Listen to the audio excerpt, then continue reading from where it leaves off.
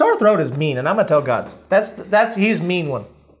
Well, what, what what's Why? what symptom of a sickness isn't mean? It's a, uh, a uh, stuffy nose. I could do him. It's, I don't like it. I don't like it. I don't like it. But I, No. the, the sore throat is the I hate him more than life because I have to swallow.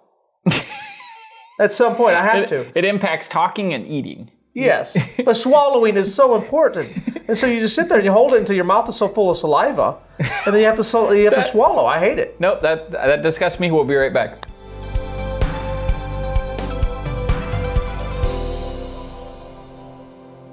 Good morning. Welcome, to Wake, up, where we wake up. Uh, Pastor Scot, Pastor Jason and Pastor Scot was just saying, you know, woke up with a sore throat last night. You feeling better today? I am. I'm feeling good. Yeah, no, I had. I would say in the top probably three sore throats of my life. Okay. On a, a, on a this ten star yesterday. scale, how many how many stars was it? He, he was like 80. He was he was so. And I let me tell you this, God, if you're listening to me, the sore throat makes no sense. There's no reason. It's not like my throat feels anything until right. I, I don't feel anything ever in my throat until it's, it becomes sore. Yeah. And then I have to swallow. And Jason will tell you, him and I both, our mouths produce more saliva than most. My dentist, even my dentist, is like, oh my god, like he's got to get like a couple suctions in there.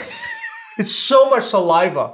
So I try not to swallow, but then all of a sudden I start gurgling, and then I have to swallow it, and it hurts. I'm thoroughly disgusted. People are trying to eat their breakfast and drink their coffee right now. Can you just lay fun- off? And I think it's because a mom prayed for certain things in my life, and one of She the ones. prayed that you would have more spit than most. no, I think that she didn't want me to smoke, so I can't like, you know, I had buddies that would, eh, oh, let's have a cigar. So I put a cigar in my mouth, but my mouth produces so much saliva that it would actually get soggy and fall off.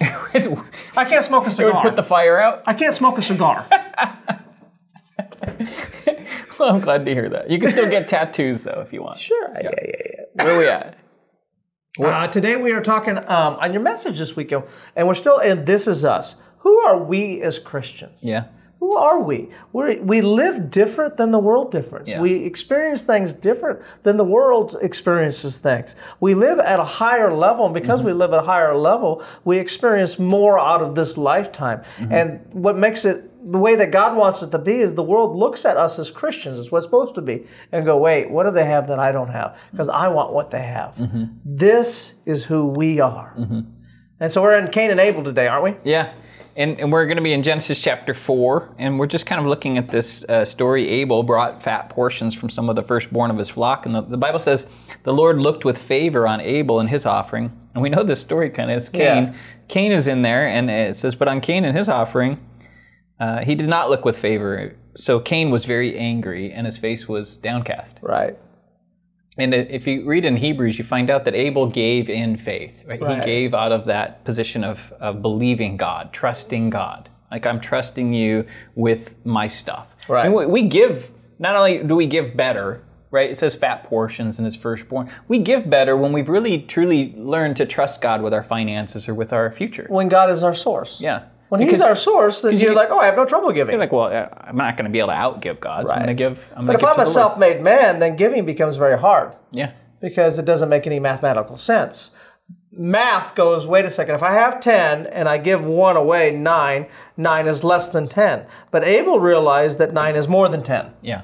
That when I give it to God, Whatever you put in God's hands, But it's it's a farm. gonna get bigger. Mm-hmm. It's a farm principle. It makes no sense to take my seed that I have and put it in the ground.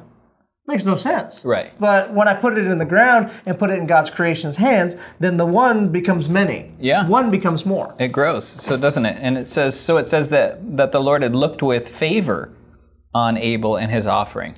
And, and so without faith it is impossible to please God. God. So really it was that, you know, because the widow gave just a mite. It was two pennies. Yeah, it wasn't right? much. So it wasn't about the amount, was it? No. Uh, she, she barely gave anything, and Jesus stopped heaven and earth to point out this fact and logged it into the eternal word of God, inscribed on the, the Lamb's book of life. He he basically uh, you know highlighted this widow and what she did. I imagine that there was some repercussions afterwards. Like if he highlighted her that big, I imagine that she wasn't going to be poor much longer. Right. Like, Jesus just spoke into her life.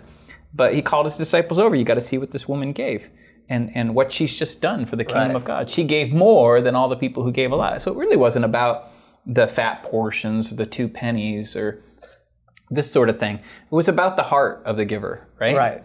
And so but but what we want to talk about today is is that that Cain was all upset about it, wasn't he?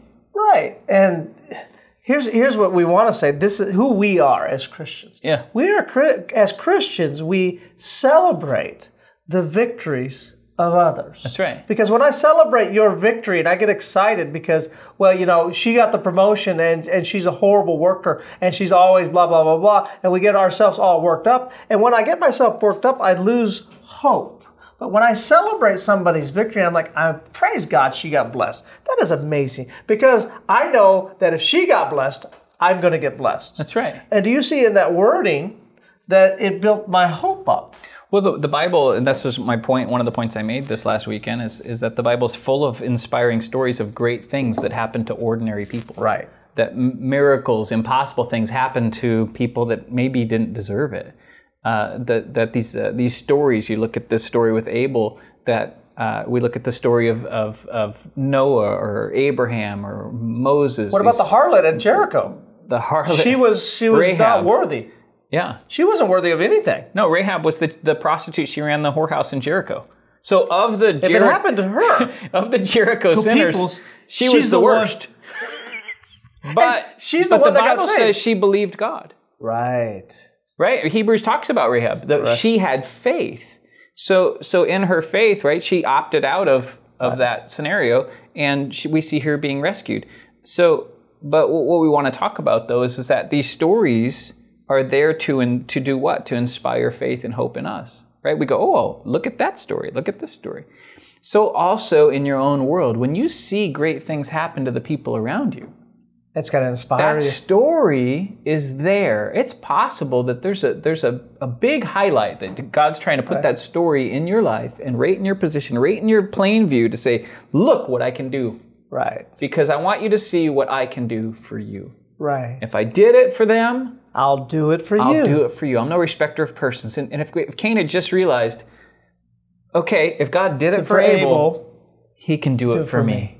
It would have been a whole different scenario. Yeah. He would, instead of being angry and frustrated and downcast and depressed and felt like nothing ever goes my way. Yeah. See, the enemy always takes something good and makes it good for nothing. Yeah, that's his favorite That's thing what he to does. do. He Yeah. takes something good. So God puts a story in your world. I love how you said that example. He puts a story in your world, and somebody got something. They got a, a, a new car. You're like, well, why did they get a new car? How come I don't get a new car? So what was meant to bring you hope actually discouraged you. discouraged you? but it was meant. God's like, I meant it for good. I meant it to, to, to stir you up and say, if I did it for them, I can do it for you. I can do it for I can you. bring something great into your world. you you love the, the show Survivor.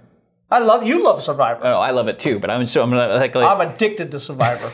no, I am. so, I, and he's got his immunity necklace on today, so you can't vote him. You can't, can't vote him vote me off the island. No, I'm on. Unless he's fake. Although if anybody's in you know up for being voted off the island, it might be me. Why would you be Well, voted because off? of how much I've missed, and I think Pastor Dion might be better. Oh, you haven't helped around the campfire. You haven't been. You're that guy. I watched Pastor Dion. I was like, yeah, she's better. Pastor Holly, I was like, yeah, she's better. Pastor Lakin was there. I'm like, yeah, you. they're better. No, you're better. You're so good. but but if you watch Survivor, you know that that uh, towards the end after the merge, when or anytime Oh, when somebody goes to the reward, and the other team doesn't see you. do so those of you who don't know the show, I won't have much time to talk about this. Um, they do a competition, and whoever wins gets a reward, and the other people get left behind. And you're talking about people that have no. Food. food, no blankets, no warmth, sometimes no water. And then they take the other group and they give them like ice cream, coffee, Right. like a hamburger, uh, and a massage, and they take them on a helicopter ride to look at waterfalls. Okay, so, so these people come back, and then you you get to watch the the interaction. You, Interaction. you even get to see the behind the scenes. Oh my gosh. so they're like, "Oh my gosh, it was so great! The burger melted in my mouth, and the Oh, you're the getting things." voted off. As soon as you said that, I go, you're going home. And the, the team that didn't get the group of people that didn't get to go, they were angry. They'll bite you in the back. oh my gosh, they're so. I told Holly because They rubbed my face. my dream is to be on Survivor. I want to be on there. Yeah. But I already have my plan. You never win. No, You never win it. no, because no you win no reward. never win that reward. No. I know that you want. It's not worth a million dollars. You let somebody else win it. Yeah, Because then they're going to get voted off. You never want to win it. because the person who wins Because gets also, hated. and when you win it, you also get to pick two or three other people to go with you on the reward, which usually causes more Jealous. Well, why'd they pick him and not me? yeah, why me? I thought we were an alliance. I thought we were friends. But but that's the world. Yeah, that's, not, how we do it. Because this is us. We celebrate other people's wins. When we see someone else going off to Fiji or we see somebody else getting the blessing of the Lord, when you hear about somebody getting healed of cancer, but you have cancer, Right. that's an opportunity for that testimony to stir up your hope. Right? So not be good. discouraged, why not me? But instead to stir me up and say, if God did it for them, he can do it for me. I like what you, that gave me an idea. Why not me? Instead, you say, "Oh, me I'm is next. going. I'm next." I'm That's next. a whole different. I'm thing. that bridesmaid that caught the bouquet. Let's pray. Dear Father, Lord, we thank you and praise you for their day, Lord. That if they, if you've done it for other people in our world, we know you'll do it for us, Lord. And we go forth celebrating all the victories of everyone around us, everyone that you put in our world. As they get a victory in their life, we are the people who celebrate it because that is who we are. In Jesus' name, Amen. Enjoy this clip. Last night, a woman came to me, just last night after, after teaching this message, and she said, Can I tell you a story? I was like, Yeah, absolutely. I love your story. And I asked her, I always ask people, Can I share this story with the, the church? She said, Absolutely. So she was driving in her car on the way to the babysitter and on the way to work, dropping the kids off for daycare. And her car started just rumbling terribly, and it was almost shutting off, and the idle kept changing at the stoplight, and the check engine light came on, and she thought, oh no, I can't afford this. I gotta go to work today. I can't afford to have car trouble right now. I'm not dealing with this right now. And she said, Lord, can you just get me to the daycare? So her car made it all the way to the daycare, dropped the kids off, and then she said, Lord, can you just get me to work today? So she drove the car all the way to work and she got there. But then on the way to work, she remembered that I, taught, I taught, talked about a story where my car check engine light came on. And she, she, this is her own words. She said, and when you said you prayed over your car, I thought, well, that's odd.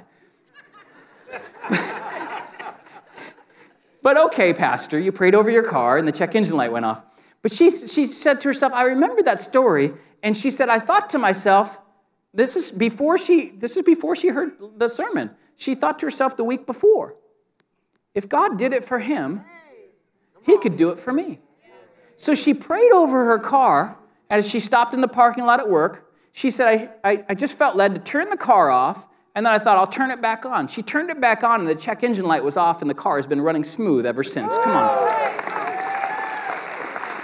But if God did it for her, he can do it for you. Thanks for watching. Give us a thumbs up, share it. Don't Share. forget to subscribe. Go to youtube.com if you're listening on the radio. Go to youtube.com and click the subscription. Uh, just search daily Bible study. So It will come up number one. Click, click subscribe. That way you can watch it anytime you want. Visit wakeuptv.tv and don't forget about Girls Night Out this Thursday night. Ladies out there, it's going to be 80s night. My wife's got an incredible teaching on identity, great relationships, food trucks, fun. Yeah. Come on out for And it. the men are all going to Andy's at 7.30. 7:30. And don't forget to be in church this weekend because Oh, which God's Andy's? house. I didn't know there was more than one Andy's. I only know one Andy's in this world. Get out. Just get off the show. I, I lost it. I, I'm sorry. He's got to go. I, gotta, I don't want to go.